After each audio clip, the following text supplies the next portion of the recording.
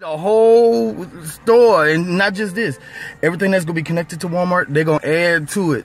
They're gonna add that to it, and they're gonna block all that off too. And then Sam's too. Sam is one of them because the owner of Sam's is the same one on Walmart. Just like I said, y'all, they said they was gonna close all WalMarts, and they closing it. Next thing you know, it's gonna be a it's gonna be a FEMA camp. First, they're gonna put the barbed wire at the top. Then they're gonna start surveying the um, Walmart. Then you're gonna start seeing more and more trucks coming here watching Walmart as they empty out Walmart. They tried to say it was a bomb threat, but come on now, do you see anybody up there? You know what I'm saying? Like the bomb squad or anything to um, come deal with this bomb threat? It's not a bomb threat. Another cover up in Lake Charles, Louisiana.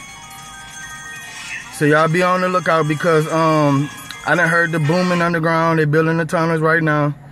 And before you know it, there's gonna be another FEMA camp that they making to bus people underground to these FEMA camps along these railroad tracks in these tunnels that they got in there. They're gonna put them in these little carts and then run them to the uh, the real railroad companies, the real railroad tracks, and they're gonna bust them out and they're gonna be disappearing just like those truck drivers. So you heard it from me.